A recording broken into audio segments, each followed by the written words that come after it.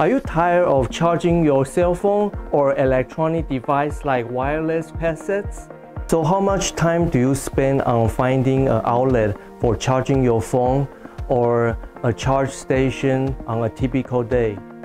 What if you can charge your phone or any device with sunlight in just a few seconds? Hello, welcome to Uniting Digital. I'm Arthur. I'm David. Hi, David. Hi, Arthur. That's right. You heard that right.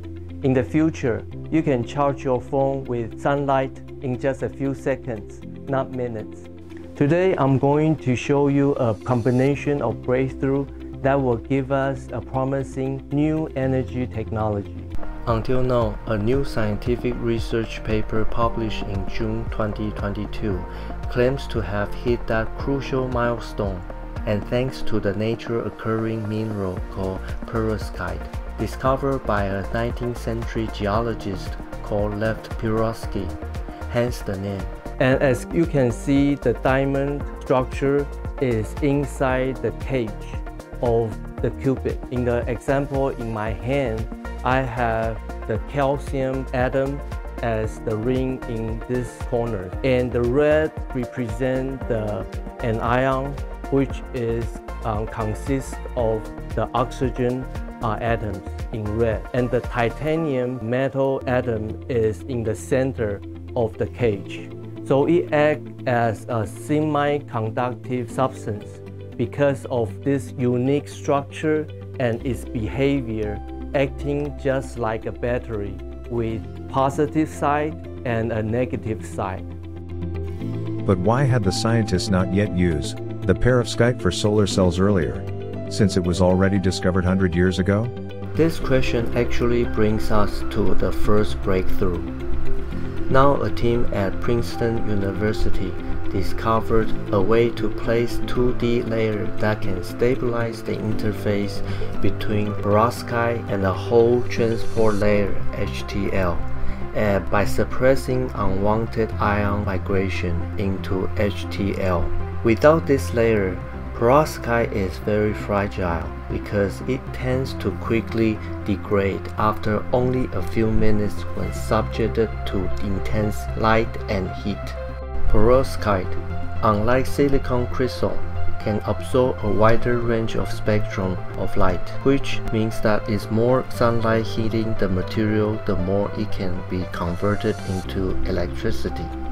Another breakthrough is that perovskite could be the one that potentially exceeds the efficiency limit also called the Shockley-Queisser limit due to its unique ABX3 structure. How about the cost of manufacturing compared to silicon-based solar cells? The perovskite structures are also more tolerant of defects than silicon that eliminates the need for the high-cost, high-energy machinery that silicon cell production requires. And it also means about 20 times less material is needed for each cell. As a result, perovskite solar cells can be manufactured using simple additive deposition techniques such as printing for fraction of cost and energy. Because of the compositional flexibility of perovskite, they can also be tuned to ideally match the sun spectrum. Finally, another breakthrough on this solar cell innovation is coming from Advanced Technology Institute ATI, the University of Surrey in UK, where they have demonstrated how its new photo rechargeable system, which merge zinc-ion batteries with perovskite solar cells to store energy on the small devices like wearable without the need to plug in. At the moment, their prototype can achieve a 30 seconds of sunlight that boosts the battery life of wearable by tens of minutes. Finally, together with all this innovation and breakthroughs, the perovskite solar cell technology looks very promising as a new kit on the market coming soon. I hope you enjoyed this video and excited as us about this new energy technology. And if you like technology news, uh, you can visit us at Uniting Digital. where I share a variety of technology topics. As always, thank you for watching and I will see you next time.